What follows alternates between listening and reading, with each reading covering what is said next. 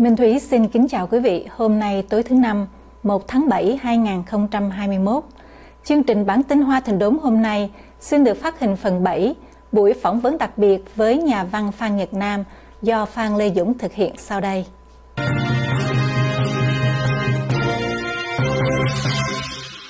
thường thường cái chuyện mà ở trung học nó ảnh hưởng anh rất nhiều trước khi mà anh trường võ bị nhưng mà trường võ bị nó cũng là thật sự nó là cuộc đời của anh thì anh có thể nói là ở ở trung học hay ở tiểu học nó ảnh hưởng ít ở một mức nào đó, nhưng mà khi mà cái quyết định để vào trường võ bị là vì một khi mà anh đã tốt nghiệp rồi thì anh có thể chọn những trường khác, thì tại sao mà anh lại chọn trường võ bị?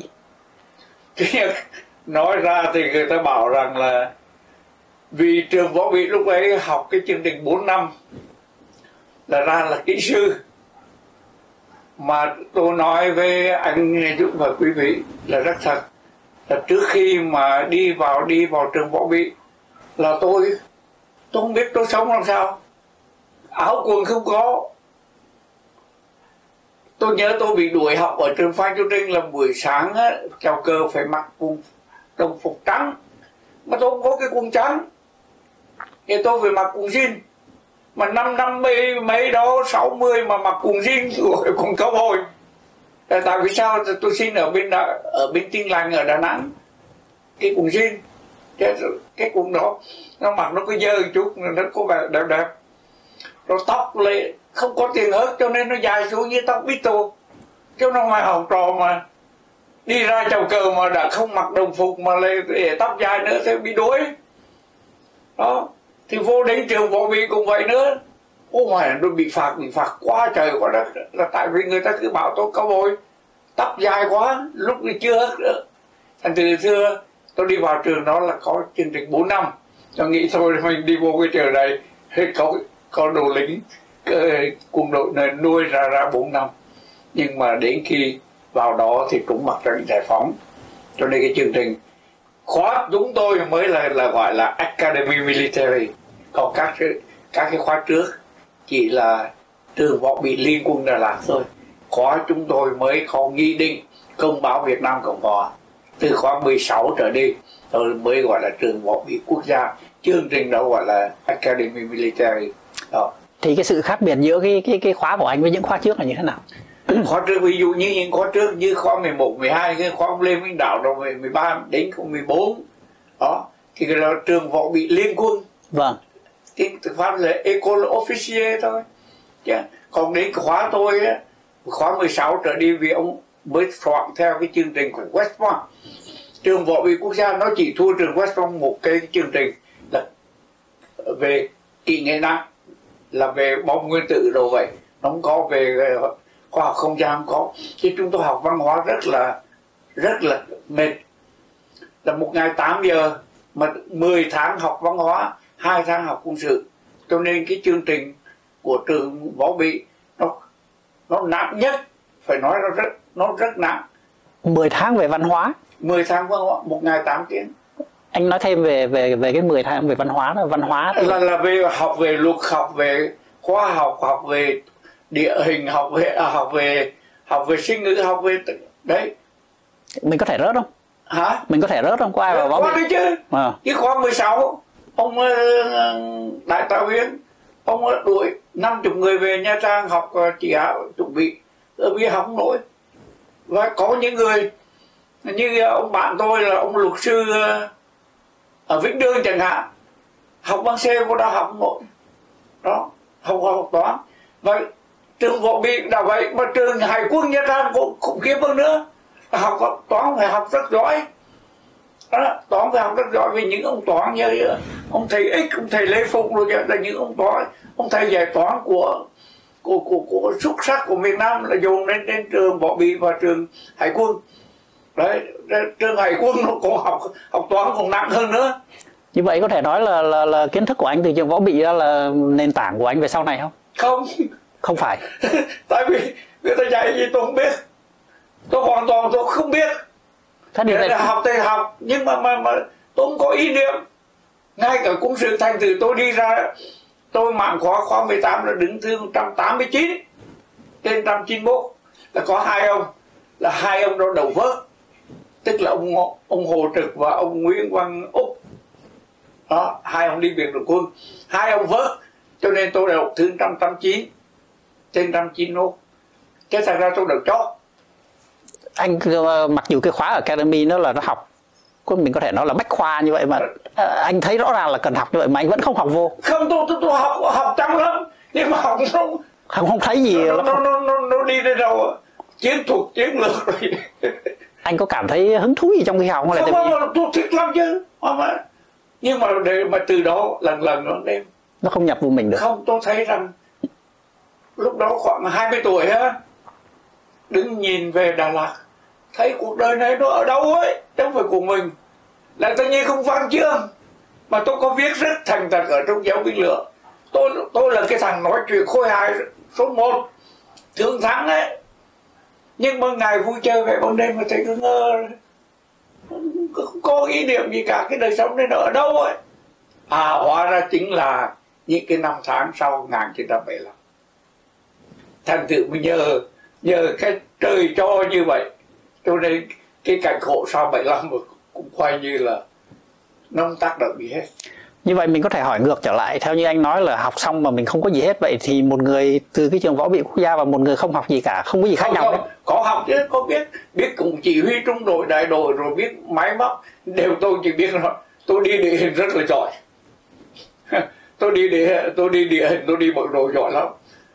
Ờ, thành từ khi mà đến nước mỹ một tuần sau tôi lái xe từ đây đi lên về, Houston tôi mới có bằng viết thôi à, tôi lái về Houston tôi thăm con tôi lên và từ đời Houston tôi lái lên DC Thế tại vì tôi đi bằng đồ giỏi lắm. Nhưng mà cái đó là do huấn luyện hay là do trực giác của anh? Không là do bằng do huấn luyện. Gì do huấn luyện. Do huấn luyện gì à. và có một điều này nữa. Là ở nhảy dù mà làm sĩ quan băng ba tức là sĩ quan operation officer là sĩ quan về hành quân đó. Nó quan trọng lắm. Là anh phải đi trung đội trưởng rồi đi đại đội trưởng rồi đại đội trưởng giỏi mới lên sĩ quan băng ba. Thì tôi nằm trong cái mạch đó.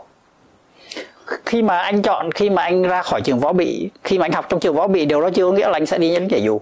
Lại gì à, khi mà anh ra rồi thì là bởi vì người ta chỉ định cho anh hay là không tính không anh không, không, không là đây đây là vấn đề tôi là người độc nhất trong 31 khoa nhảy dù. Đã lấy một cái chỗ rất an lành là sĩ quan truyền tin, đổi lấy cái nhảy dù. Cái người mà tôi đổi lấy truyền tin, tức là ông Trần Tử Duy cùng khóa tôi giờ này, ông ở, ông hình như ông ở bên Atlanta. Và ông ta là sĩ quan về điện tử đầu tiên của quân lực Việt Nam của họ. Thì người ta mới chọn, và thường thường chọn nhảy dù là để thủ khoa nhảy dù khóa 16 Bùi Quyền nhảy dù khóa 18 của tôi Nguyễn Anh Vũ là là là đi nhảy dù. 19 Võ Thành Kháng đi uh, anh nói thủ khoa đây là thủ khoa của trường võ bị. ừ, võ, võ bị. Họ lựa nhảy dù. À, là, là đầu tiên à. đầu bạn à. ưu tiên muốn muốn muốn đều phải có thủ khoa cao lắm á khoa. Chứ không phải đứng chốt làm sao đâu. Thì tôi đi trường tin. Mà trường tin á nói ra thì người ta bảo nó dốc nhưng đây sự thật. Truyền tin mà ở các cái cung trường như thủ đức rồi vậy người ta phải chạy tiền. Vì truyền tin đó là truyền tin binh chủng. Chứ không phải truyền à, truyền tin binh đoàn chứ không phải truyền tin binh chủng. Có nghĩa là nếu anh đi ra một cái đơn vị mà anh giữ về cái sĩ quan truyền tin đó là truyền tin của cái binh chủng đó à, binh đoàn. Còn anh cũng từ cho nên cái ông trần tử duy đội tôi là ông được quân đội cử đi học về truyền tin điện tử đầu tiên của Việt Nam. Thế mà ông ông đưa cái nhà vô đó và tôi đưa tôi bán hết áo quần được đâu mấy trăm bạc tôi đưa cho ông và nói tôi mày đổi à, mày lấy cái à, truyền tin rồi đấy.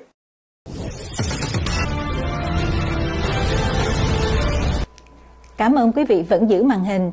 Để tiếp tục chương trình, Minh Thúy mời quý vị theo dõi phần 8, buổi phỏng vấn đặc biệt với nhà văn Phan Nhật Nam do Phan Lê Dũng thực hiện sau đây.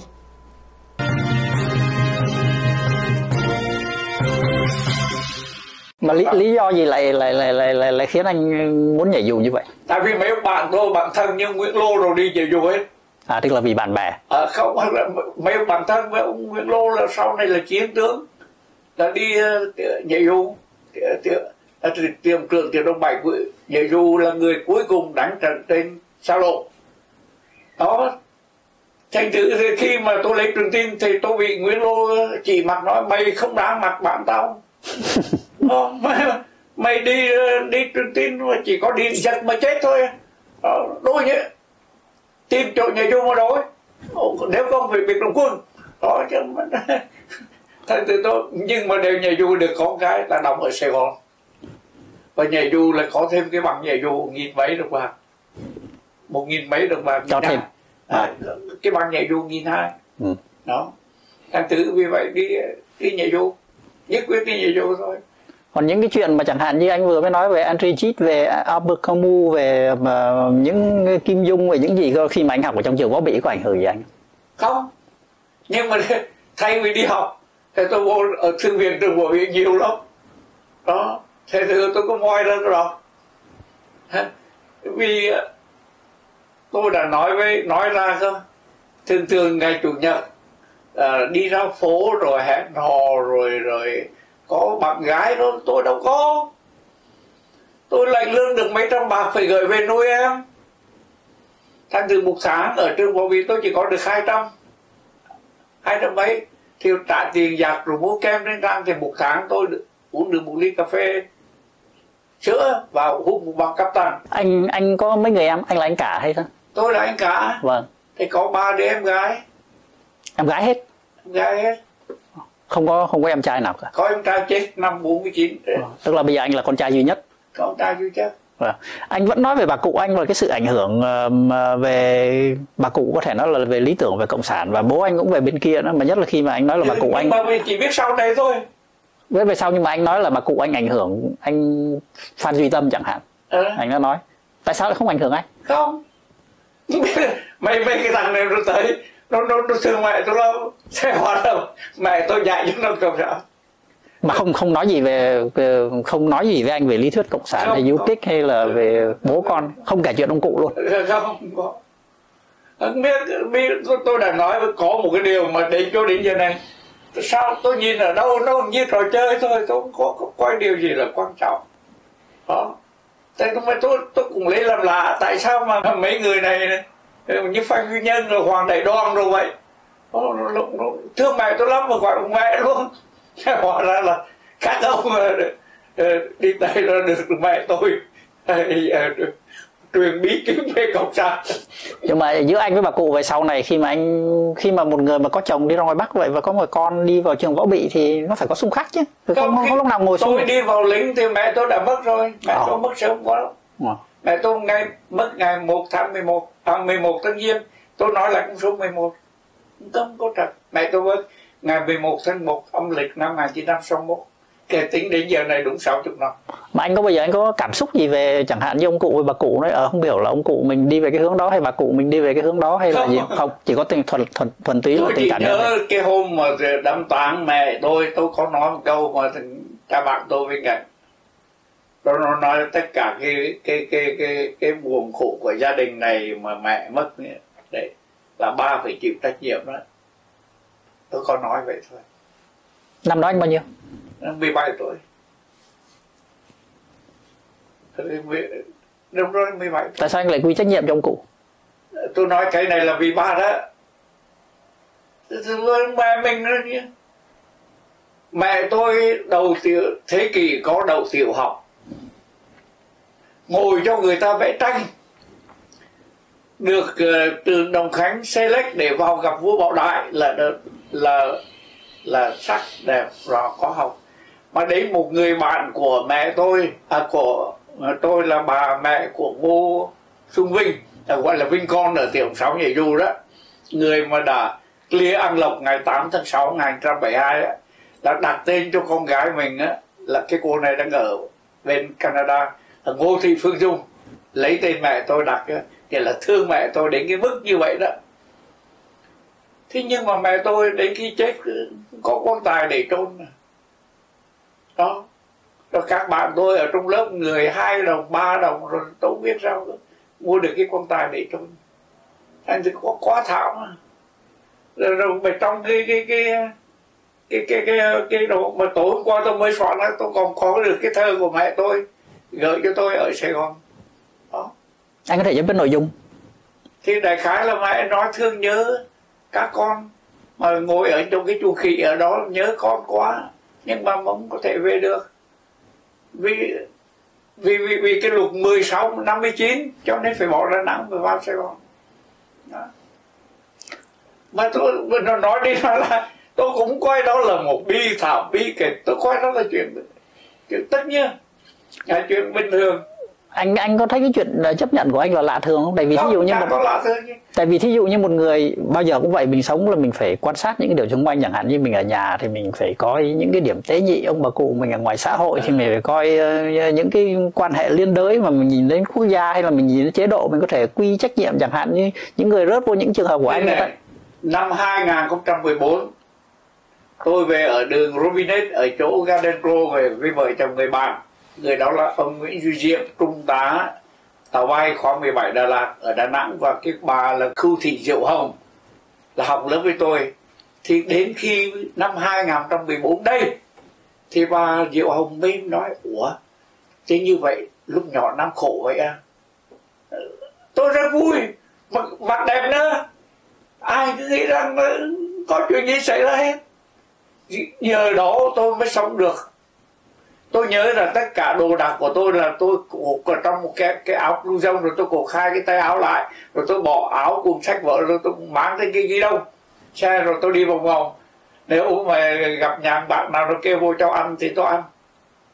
Anh không cảm thấy khổ hoặc là tủi thân hoặc là bất cứ cái gì hết? Đến nay bây giờ giờ này cái ông võ ý là trung tá không quân khoa 17 Đà Lạt ông ở cách đây thì 10 phút thôi ở cái mobile home ở gần Phước Lộc Thọ thì tôi vẫn nhớ nhắc đến một hôm tôi tới nhà ông ấy chơi. Thế ông ấy hỏi sao mà mặt ngoài xanh sao? Vậy nó đói quá mấy ngày để ông ăn. Thế ông nói ở trong nhà có cái nồi cơm. Thì có nồi cơm nguội cho cả gia đình. Tôi ăn mình hết luôn nồi cơm đó. Vì chúng đang mắm ăn với chỗ đến giờ này tôi xin ăn cơm lắm. Có lẽ do sự thiếu thốn đó. À, mà, mà, mà tôi coi đó là chuyện thường. Chuyện chuyện tất nhiên cái chuyện ăn người ta đấy chính nhờ đó tôi mới sống được. Ở những cái năm tháng ở, ở sau 30 tôi nhất là những cái thời gian bị kiên giam. Tôi bị kiên giam từ ngày 7 tháng 9 1981 cho đến 29 tháng 5 1988 là 8 năm chỉ thuộc đảng Ma Sư Tổ đông mấy tháng á. Đấy thì với một cái điều kiện ở trong đó một ngày hai chén bắp ở trên cái vùng Thanh Hóa đó không có gạo chỉ có bắp thôi mà không phải mà, mà ngô thường ngô tẻ ngô đó là bắp để cho lợn ăn. Chứ không phải ngô người ăn người mà mình ăn là bắp nếp. Cũng như cơm mình ăn là cơm nếp. À sẵn là là khác. Còn sẵn ở cái vùng đó là sẵn kỳ nghệ. Sẵn bán cho người nhật để làm chất dẻo để bỏ làm lốp ô tô. Kính thưa quý vị, chương trình bản tin Hoa Thịnh Đốn tối hôm nay đến đây là chấm dứt.